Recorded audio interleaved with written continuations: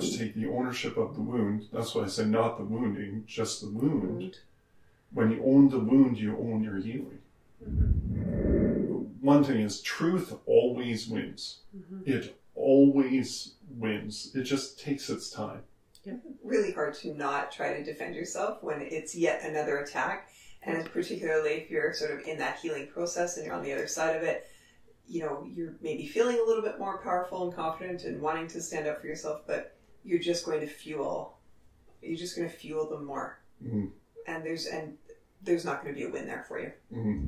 Yeah. And don't try to ruin me with lies when truth can ruin you. Mhm. Yeah, when the truth can ruin you. Mhm. I feel like that is the um, narcissistic abuse recovery like call.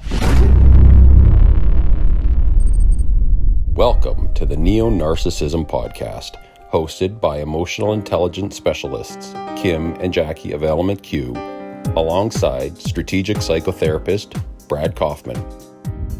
Hi, everyone. Welcome to the Neo Narcissism Podcast. We're happy to have you join us today. We are going to talk all about the lack of resolution when the narcissist discards you. This might be a good time to talk about what a healthy relationship would look like in Mhm. comparison. Because if people are accustomed to being in narcissistic relationships, they may not understand what it's like to have healthy resolve.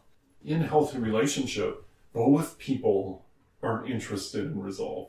And I know for some of our listeners out there, that that's a real foreign concept, right? Like you aren't the only one that trying to open up the discussion to get the resolve. No, the other person may actually come to you, or you come together and you have these discussions towards it and they're willing to sit through the discussions no matter how long there there isn't any of this how many times are we going to talk about this? There's an understanding that we're going to talk about this until we get it figured out. Yeah. we're going to talk about this until we get a mutual understanding of each other. We're going to talk about this until we find a mutual space or a shared space that seems reasonable for both people where you you have some level of resolve to move forward, which opens the door for deeper reconnection. Mhm. For those of you that have never had had this, it, it may be difficult to conceptualize somebody that's actually able to do this as well as you are. And I think it's important here to point out that this is not dredging up an event over and over again in order to punish Right. The, the other person. This Mhm. is about seeking deeper clarity and understanding of the person you're in partnership with, Mhm. so that you can really understand who they are, what motivates and moves them, what their belief systems are, all of that that's influencing. Empathy. Empathy, What a novel concept. Yeah. empathy. True, True empathy, empathy. true care mm-hmm. of knowing what the other person's experience is. I often like to talk about our personal universe versus the universal universe. So in a relationship, well, let, let me just kind of conceptualize this concept of personal universe. Wherever we as individuals go, our subjective personal experience is that we are literally the center of the universe. Mm-hmm.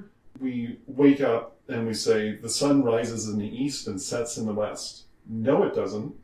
The earth is spinning and we're going around the sun. The sun is not going around us. But our perception, our personal experience is that. So it doesn't matter where we go. We are literally the center, our experience is we are the center of the universe. But then there's a universal universe where we can actually look at the actual factual truths that yes, the earth goes around the sun. It takes 365 days. The earth spins this fast and, you know, all of that type of stuff. That's a universal truth. So we're a bunch of little personal universes wandering around in this universal universe and we run our little personal universes run into each other. I like that. So mm-hmm. The the whole concept of empathy and understanding this other person's experiences, what's it like in their universe? So that's what true resolve is about. It's about two universes coming together and molding as one in that moment. Oh. No, it's beautiful. Mhm. Yeah. So, but really, what the narcissist does is they come in, they want to be the center of your universe. Mhm. Your universe can no, you can no longer be the center of your own universe. They have to be the center of your universe. It's not about sharing this universal space with each other. So then everything that you do, it's what I call orbital space. You have to be in the orbital space around them at all times. So even if you're out in the world doing your own thing, you have them scripted in the back of your head of what you are allowed to do and not allowed to do according to their demands.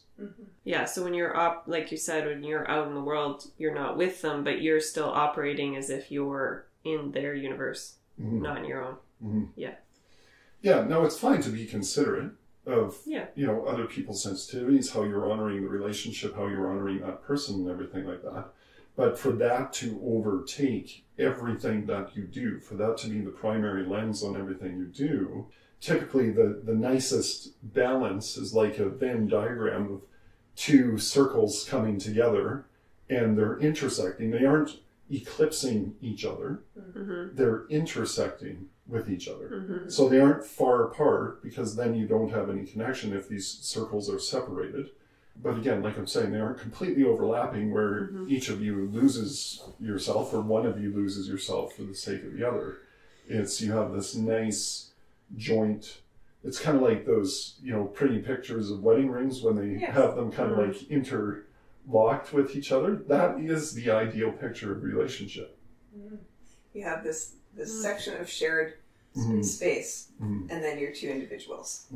Mhm. Mm-hmm. And within that section of shared space is where resolve ha- resolve happens. Mhm. Yeah, Yes. in healthy relationship. Yeah. So yeah, so basically what they want to do is they want to demolish your personal universe. They want to leave you extremely wounded, and they hope that they're the only resolve to it, like you were saying. Mhm. Yeah. Yes, they have the only answer. Mm. And that they are the only answer. Ah, yes, that's great. Yeah, they Yes. are the only answer. they are. Yes. It's not true. Mhm. That's their belief. Mhm. Mm-hmm. Well, if you're If being you're trained like- that they're the center of your universe, then just Mm-hmm. in that fantasy and illusion, it Mhm. For is sure. Mhm. a lot of really beautiful pieces of information and imagery for people. And I think it's helpful, at least I know for me going through my experience, to recognize the lack of resolve, the, the massive betrayal and the massive lack of resolve that I was left with to process. If, if, if I didn't start dealing with it on my own, I would have been begging for that resolve to come from outside of me hmm right? Rather than own the wound, own the reality that this is what I'm dealing with and this is what I need to do. And it doesn't feel fair. It doesn't feel fair that we should own a wound that we aren't responsible for, Yeah. that somebody has inflicted upon us. Mhm. Like, you know, if somebody hits you with a baseball bat, it doesn't seem reasonable that we now have to take care of that wound that they left us with.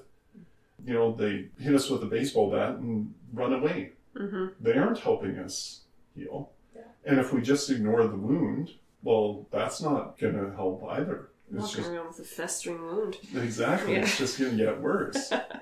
so that's why we we have to take the ownership of the wound. That's why I say not the wounding, just the wound. Wound. When you own the wound, you own your healing. Mm-hmm. That's beautiful. Mhm. Beautifully said. Mhm. Now, again, like I said before, it, there is something useful in, or at least relieving in understanding that their cowardice, their cut and run, catches up with them. Mhm. right? It has that shelf life. And whether they want to deny it consciously, subconsciously, it will own them. Mhm. So then their coping strategies have to get bigger, have to get more intense, and ultimately become highly destructive. Because how do you shut the truth up. You don't shut the truth up. You can't. Mm. Yeah. It'll show up. I mean, it may show up in unhealth in their body, Mm. hmm and of course in every other relationship that they're having. Mm. Yeah. One thing is, truth always wins. hmm It always wins. It just takes its time. Yeah. It'd be nice if it was quicker It would be. than it is, but What was the quote you said earlier today about truth? Um, how was it? Don't try to ruin me with lies when truth can ruin you. hmm Yeah, when the truth can ruin you. hmm I feel like that is the narcissistic abuse recovery like call. That's profound. It is. It's deeply profound. Their their lies will, again, they have a shelf life, um, because again, truth always wins. So they they can go out there and they can smear your name. They can tell whatever narrative or whatever story to anybody that's going to listen to them. hmm and they can get away with this. And a lot of times we'll want to just like jump in and stop them from doing that, but we can't. And even if we try, then we just we end up kind of confirming Yeah. their narrative. It's best just to let it float, let them have their day, and just trust truth. hmm Really hard to not try to defend yourself when it's yet another attack. And particularly if you're sort of in that healing process and you're on the other side of it, you know, you're maybe feeling a little bit more powerful and confident and wanting to stand up for yourself, but you're just going to fuel, you're just going to fuel them more. Mhm. And there's, and there's not going to be a win there for you. Mhm. Yeah. That is so important to recognize how that can just add to fueling them. hmm I think the important thing too is when is language the narcissist uses. Mm-hmm. So if you, as the empath and interacting with the narcissist, are looking for your win, you're just playing into the same game.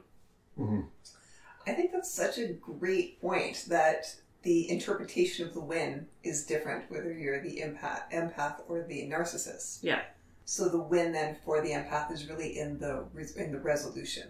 It's Yes. in- it lies in the resolve. Yeah. Yeah, but if so you're looking, a better way to term yeah, that. yeah, Mhm. yeah. If you're looking, like I'm thinking competitive win. If you're looking Mhm. for the competitive win to destroy them or to, I don't know, to be better than any of those kinds of things within the resolve process, you're just playing into that same game. You're absolutely right because the win the win is referencing like a win loss, so somebody has to lose. hmm But when you're on the empath side of things, you're not necessarily interested in somebody else losing. No. You're just interested in it being a win across the board. Yes, everybody winning. Yeah, so it's a resolution. Yeah, Mhm. great distinction there. Yeah, resolution and healing. And so you're right, and I want to I want to stress this even more because this is such a, a important thing to understand. Yeah, it, it's their language. If you try to play their game, uh, you won't heal. Yeah. The only way to heal is to do the work. Right. It's it's not about them anymore. hmm It's it's about what you can do for your own well being. Yeah. And that healing isn't going to come from the outside in. It Nope. has to come from the inside out. Yes, it's nice to have loved ones or you know professional helper help you through that space to draw that healing out. Oh, jeepers, how far do we want to go with this? So, yeah, th- this is another topic for another day. But our our bodies naturally want to be healthy. Mhm. We naturally want to heal. We just have to get ourselves out of the way, essentially, to do it. so, yes, we can facilitate the healing. So, for instance, right, if we get hit by that baseball bat and the coward runs away, okay, we can facilitate and nurse and dress and do all the stuff we need to with the wound, right? Acknowledge it hmm and be careful around that space for that period of time. But we don't have to sit there and concentrate and meditate on Mhm. healing. Our body just knows how to do it when we facilitate the healing process.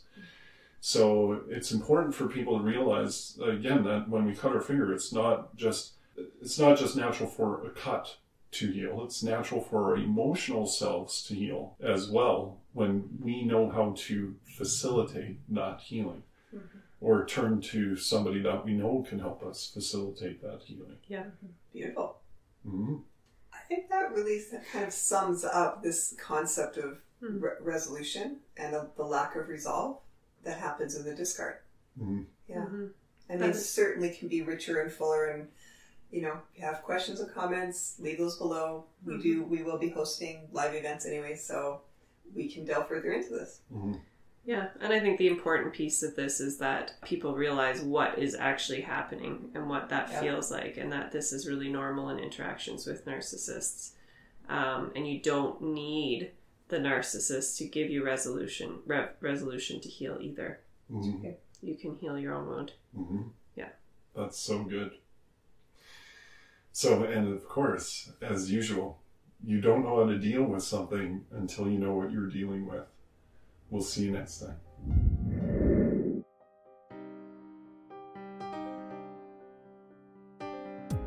Thanks for listening to this episode. If you have any comments, please leave them below. And remember to subscribe to our podcast channel and YouTube channel and share these videos with your friends and family. And please join our online community at neonarcissism.tv.